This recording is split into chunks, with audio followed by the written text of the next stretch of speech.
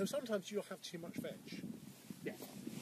What about grey market organic veg at knockdown prices? Into who though? I don't know. What if some veg wholesaler came to you and said, "Just let us know when you've got too much, and I'll give you, you know, something for it."